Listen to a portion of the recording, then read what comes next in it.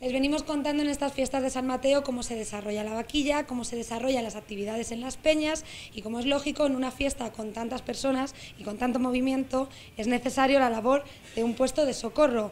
En este puesto de socorro, en el Ayuntamiento de Cuenca, colaboran, si no me equivoco, 50 voluntarios de Cruz Roja. Estamos con uno de ellos, con con Luis Izquierdo.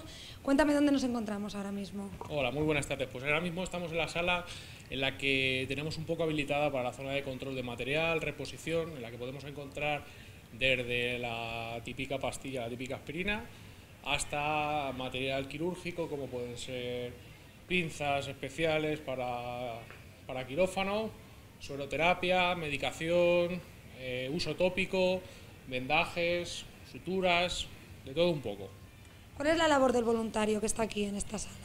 La labor del voluntario es eh, todo el material que se gaste desde fuera, desde la zona de primera asistencia, zona de quirófano o la zona de observación-recuperación, es reponer el material que se vaya gastando y algún material específico que está aquí guardado, eh, pasárselo a los compañeros cuando es necesario.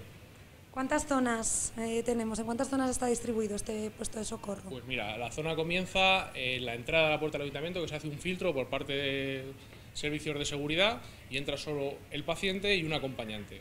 Tenemos una segunda zona, que es la zona de control de acceso de pacientes y toma de datos, que ahí es únicamente pasa el paciente, anteriormente se queda el acompañante, y la zona de primera asistencia con un triaje. Lo que hacemos es valorar el tipo de patología y pasa directamente a unas camas que tenemos asignadas. Tenemos tres camas de primera asistencia, donde se realizan curas simples, y después de eso pasaría, si es necesario, a zona de observación-recuperación, que es la planta de abajo, donde hay unas nueve camillas para lo que os estoy comentando, y una zona de quirófano, en la que hay dos camillas, dos, dos aulas separadas para el tema quirúrgico que tenga más, mayor gravedad.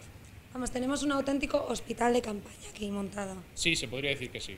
Bueno, pues vamos a seguir conociendo más, más partes de este hospital de campaña.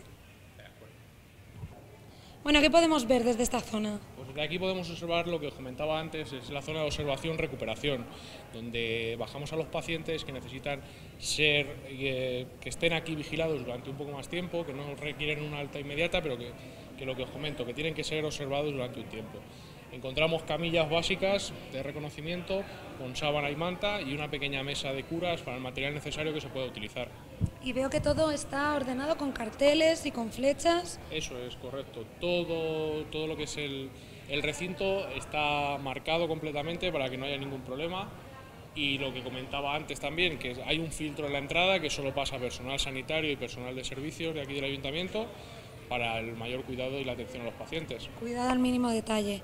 Eh, esa, me- esa mesa que tenemos ahí, ¿qué tipo de material? Porque ahí teníamos como una especie de almacén, pero aquí seguimos teniendo más material quirúrgico. Sí, pues esa mesa exactamente tiene un material de el material de inyección sueroterapia, que es para poner una vía a un paciente, material de sutura, cuando hay algún corte por alguna contusión o por asta de toro, el material de sutura, algo de medicación y cura básica. Vale, bueno, pues vamos a conocer alguna zona más por aquí.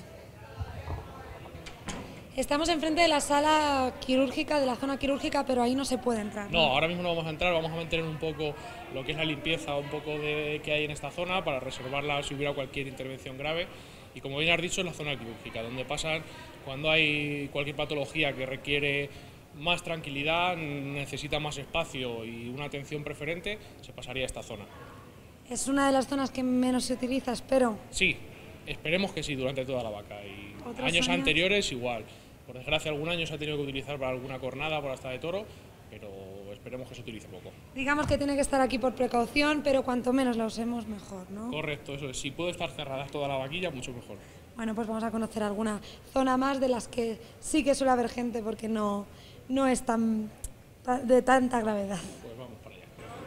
Vamos a aca- acabar este pequeño recorrido por el puesto de socorro de la Cruz Roja del Ayuntamiento de Cuenca, el puesto de socorro para las fiestas de San Mateo. Lo acabamos en el lugar al que primero llegan los pacientes. O sea, lo hacemos al revés, ¿no? Llegamos a la zona de toma de datos, que es la primera donde se hace un triaje, se valora, y esta es la zona de primera asistencia, en la que encontramos un box asistencial con un material de curas y material de uso tópico de primera necesidad para realizar una cura básica, y de aquí pasaríamos a lo que os comenté, o alta, va a su domicilio donde hay que ir, o observación o un traslado a centro sanitario porque requiera una placa de rayos X o cualquier tratamiento en un recinto hospitalario.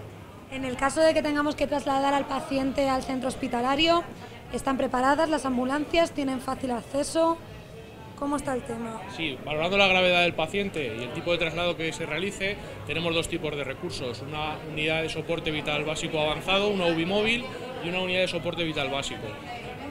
Eh, el acceso es, las ambulancias como sabéis están en la barrera de abajo, en calle Alfonso VIII, y si el traslado fuera de extrema gravedad o fuera medianamente urgente, se paralizaría la vaca, se quitaría barrera y subiría la ambulancia hasta aquí, hasta el puesto de socorro para la evacuación del paciente.